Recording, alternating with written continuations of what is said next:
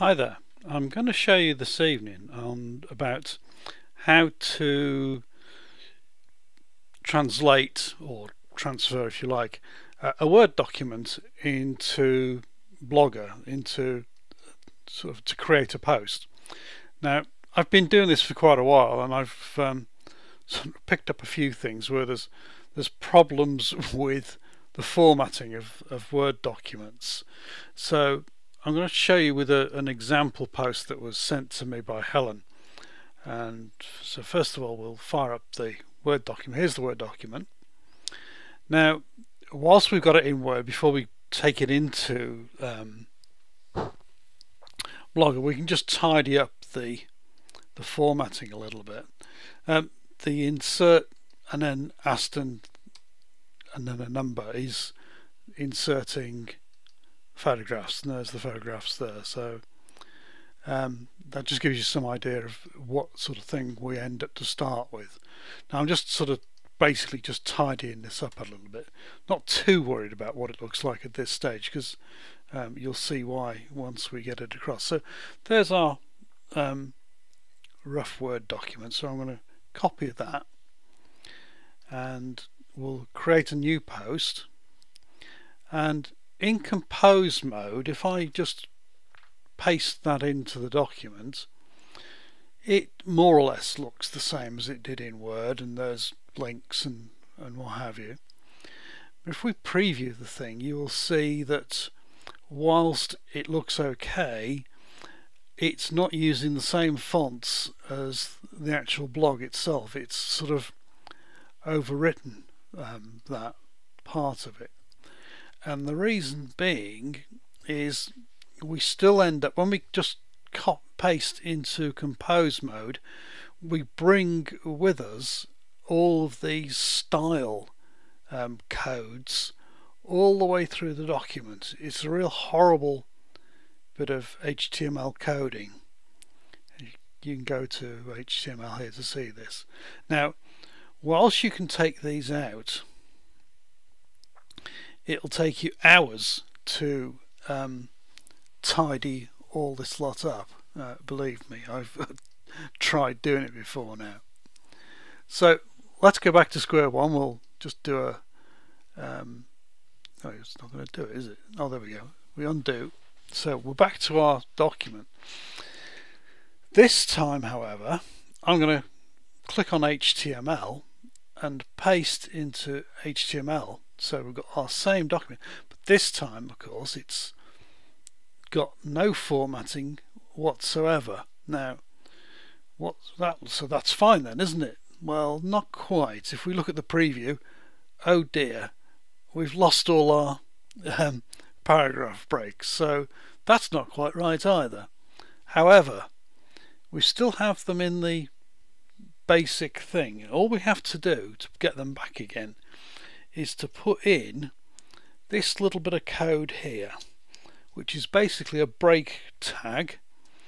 And if we I'm cheating here as usual put two of those in that's the line feed carriage return. So if I copy them and then I'm going to pop these in every time I see a gap in the text.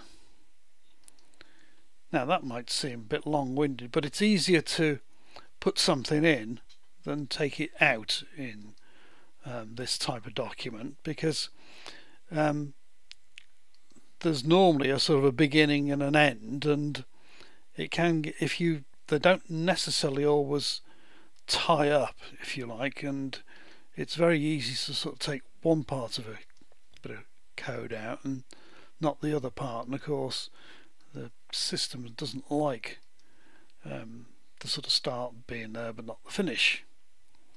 So we're adding a few more gaps in but don't worry about that too much because that'll tidy itself up in a little while.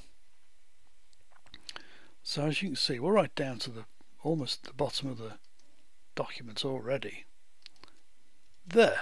Now we'll go and have a quick preview and bingo look there's our document pretty much as we want it and it's in the right font which is a major boost So I'm only going to put a few of these pictures in. I won't put them all in.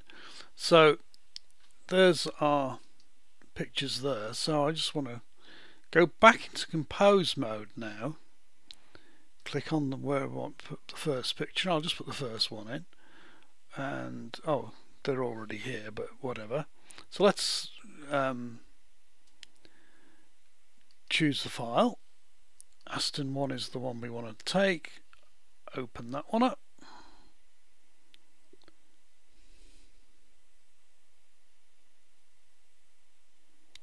Taking a little while. There it is. Add that in.